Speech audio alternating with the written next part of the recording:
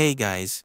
So you guys, I believe have heard this EMO. This is the audios to videos model diffusions model that enable you to use one image picture of a real person or an AI image and then one audio files.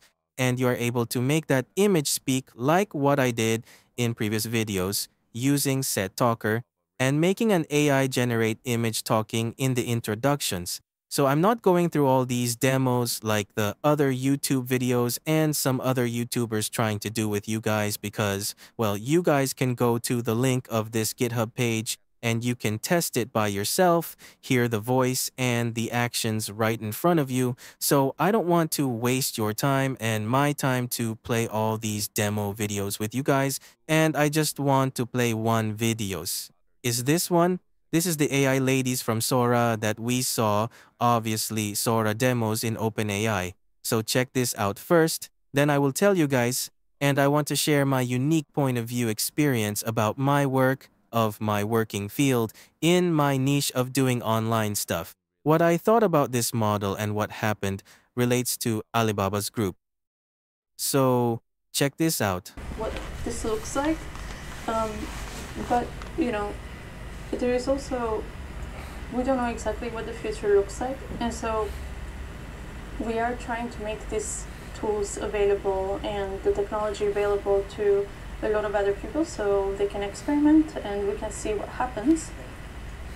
So, as you can see the lips, that is really follow the voice of the ladies talking.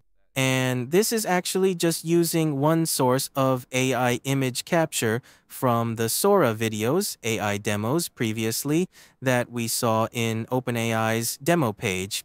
And actually, this is pretty cool that this model actually can produce like a voice speaking, and then the image are very smooth. Actually, all the lips on here is going very smooth. And also, the hat is kind of moving left and right, and their cheek is, they got a movement on the cheek right here. So, for example, like this one, as you can see, is talking, very natural. And okay, this image is actually singing, singing, very natural. And this one is talking, and then we got so many of these demos are very natural. And as we have tests about SadTalker before, and this one is a lot better than SadTalker in stable diffusions, automatic 11 and 11 extensions. And actually, their method is, of course, more complex, more steps than using SadTalker that we used previously in the demo of my previous videos. And yeah, I will share this link and you guys can check it out if you are really interested in technical stuff. But then I know some of you are not in the technical background, so I'm not going to go very deep, go through all these steps and what kind of process is that and all these technical terms. But then I want to share some point of view about my thought of these models and the relationship of Alibaba's group. And when you click this page, you scroll to this top, they say more research. You see there's another project here that they are currently doing the research on as we have test before the animate anyone. That is this one. So it's actually also done by Alibaba's group, one of their research department. And we did this before in previous videos. And why are they doing all this research project for anyone, for a characters that is moving in front of the cameras? Very simple, easily using one image and using the open pose. Yeah, using the open pose skeleton to move the characters, just using one image like that. But then, as you can see, there's other things. There's outfit, anyone, there's matte, 3Ds, there's VTalk, and clothed to text, something like that. Very related to something that we see to change a character's outfit. And also the characters are very naturally just using one clothing image. And you can change the characters to dress on that clothing and eventually they can move like animate anyone like this. And then this character, the face are not gonna be stoned like this. They will be very natural like this one, to talk to be very smooth, just like a real person. So connect with all this project together. As you can imagine that why Alibaba's group want to do this kind of technologies and combine them. I believe their roadmap is once they create all this project and then the project are going to be mature stage. And of course, they are open source and they are also applying these technologies in their Alibaba's website all the subsequent website of them. So why is that? Because, well, first of all, Alibaba is big tech giants from China, and then they are really popular, famous in doing e-commerce niche on the internet. And using all these tools, they can dynamically create models to demonstrate all the fashions, clothings, all the products that they can display on their e-commerce store or the marketplace. And it also allow I predict it also allow to set as a tools like a very easy, simple input tools for the Alibaba's marketplace seller to just upload an image or upload a movement for the models to move and then the clothing style. Upload an image of the clothing and also upload an audio using these EMO AI models to speak. And eventually, the e-commerce demo page of an item or a product is not going to be a very static image stick on the product page. That will be something that very more interactive, I would say more interactive for the consumer to see and look and feel of the product. So this is what I thought because I'm doing a commerce brand as my business side other than making YouTube videos. So I kind of understand why Alibaba's group, they want to this all this research project. And then eventually when they're mature, one day they will combine all this project for changing clothing, changing outfit on the characters, and then talking characters, and then making the voice that become more natural for the characters to talk, matching with the face. And I want to show you guys something in Alibaba's group that what they're doing, other know, one of the very popular one, obviously, as you guys are overseas from outside of China, is AliExpress. And if you do SU e-commerce dropshipping, Shopify dropshipping, something like that, you will notice this AliExpress website. And there's a lot of products here, especially they have fashions product like this. But then AliExpress are still not very updated for their interface. They're very static layout, just only image of the seller's product. And I think one day they are going to update their website, AliExpress website to apply the AI features into AliExpress on the interface rise to allow users to be more interactive with their product image and other image. Not only image, I would say the products showcase as an interactive way to present to the consumer. Now, one of the very good example is actually in Taobao, and this is the Tmall. So Tmall and Taobao, this is Taobao, right? This is the Taobao. This is like in the inside of China. They are a very popular marketplace to buy lots of things, like anything you can imagine. Legally items, okay, legally items you can buy. You can imagine they have everything in here.